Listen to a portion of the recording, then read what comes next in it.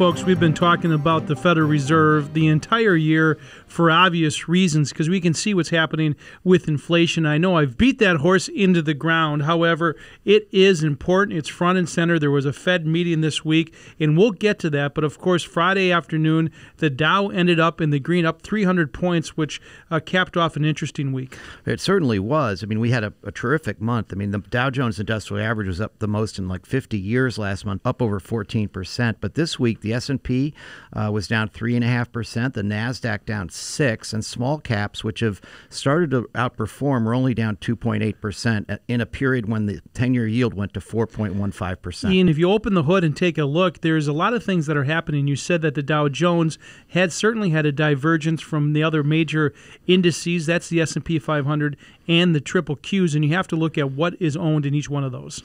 Right, and, and it reminds me a lot. You know, you often say I'm a reformed fund manager. I managed a, a, tech fund in the year 2000, and I remember, you know, at a point, you know, everyone owned the technology companies to the exclusion of all other sectors. And what we're starting to see is something very similar. Some of the very largest companies in market cap in the S&P 500 are beginning to underperform in a very dramatic fashion. They're overowned, and many of them are still not cheap.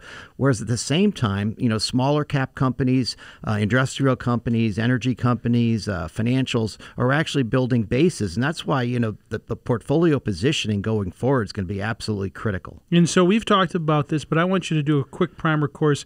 There's a market cap weighted index that we look at, and you can see what's happening. First of all, I want you to explain that, but you can see what's happening when these large market caps start to correct. Well, the S&P 500 is market cap based. The the the, the selection and the inclusion of companies in the S&P is decided by a committee, and what often happens is as companies succeed and they get bigger and bigger, they become a bigger and bigger part of that index. So Apple is obviously uh, the largest market cap company, roughly six percent of the S and P. You know, Microsoft's right up there, Google's up there, and basically the top eight in the S and P 500 are roughly 23 percent of the market in cap. In what sector are they in? And they're all basically in the technology sector, and they're also in a sector that really benefited in, in some ways for the pandemic because it it forward loaded trends that were going to take place over years and, and it was just a two year trend that uh, that occurred. So we saw a lot of excesses, probably a lot of pull forward demand.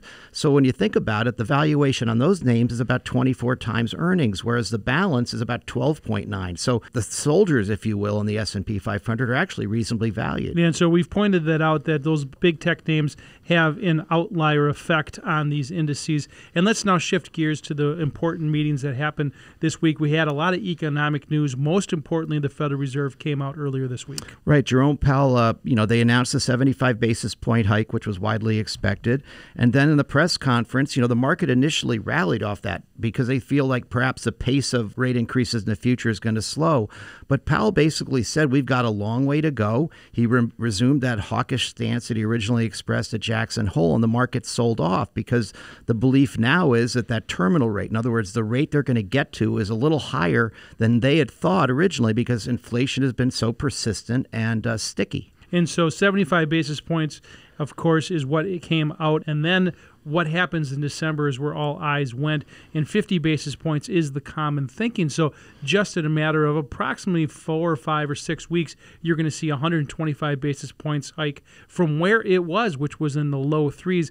And still, Derek, historically, they don't stop raising rates until they see the whites of the eyes of inflation. Right. Historically, they haven't stopped uh, raising the Fed funds rate until it was above the rate of the CPI. And the last measure we saw in CPI was eight. The Fed funds rate, as you mentioned, is close to four ish now. So there's a wide dichotomy there. That can close, of course, any number of ways.